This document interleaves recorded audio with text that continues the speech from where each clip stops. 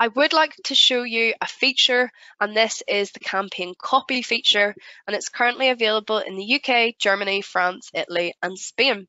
It allows you to copy your existing sponsored products, automatic campaigns from one country to another within Europe. I'm going to provide um, some information on this now, but we will be showing you in the demonstration how this is actually done. So key features of the campaign copy include it allows you to transfer all of your campaign settings. So I'm talking about things like targeting, placements, and ad groups. It converts your budgets and bids into the currency of the target country and it converts bids into the suggested bids for that marketplace. So let's say you've set it up in Europe, you want to sorry, let's say you've set it up in the UK, you want to copy it over into a European um, country like Germany, for example, it will convert this from sterling into euros. Um, it only copies products that are available in the target country to the new campaign. If they are unavailable in your new country, they'll simply just be removed. And it does translate any negative keywords that you enter into the target language as well. So if we look at the steps of how to access the campaign copy feature, however, as I mentioned, we will be going through this later. As a general overview, you'll want to go to the campaign manager in the advertising console, choose the campaigns that you want to copy and press select. Then select copy to other marketplaces and enter continue. Choose which country you want to create and copy the campaigns to.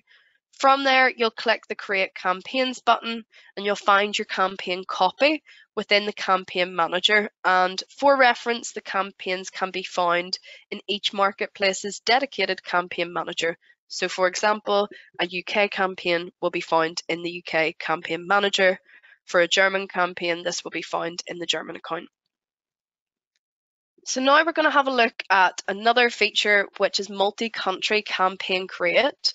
So you're now able to create a new sponsored products automatic campaign once for all of the desired countries in Europe where you advertise. So it means that you won't have to copy this. You can simply create multiple versions in campaign creation and choose the countries which you'd like to launch into as well. It means that the feature will transfer all of your campaign settings, so targeting placements, ad groups, convert your budgets and bids again to the local currency, and copy only products that are available into each country's campaign. Right now, the copy feature, um, right now, the multi-country campaign create feature is available in the UK, Germany, France, Italy, and Spain. And here is how you leverage campaign create so you go to the campaign manager um, in one of the supported marketplaces, you click on create campaign, then continue for sponsored products. Then you're going to select automatic targeting. And once you select automatic targeting, this section at the bottom of the automatic campaign creation for sponsored products will populate. Essentially, you can select launch to other marketplaces and tick or untick the checkboxes in which to pick the countries that you'd like to launch into. You can do this one by one or select all of them, and then you'll create your campaigns in those accounts as well.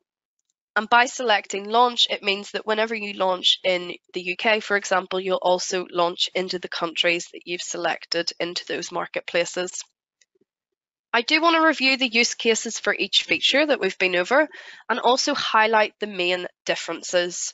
So the campaign copy feature should be used only when you want to scale existing successful campaigns that you're running. Let's say you have a really highly performing campaign within the UK and you then want to launch it into another country, you can make use of the copy feature in order for that to copy over. Whilst the difference is that the campaign create feature is used when you want to create a new campaign in multiple countries through a singular process. So one is for existing campaigns to copy it, the other should be used in campaign creation in order to create multiple at once.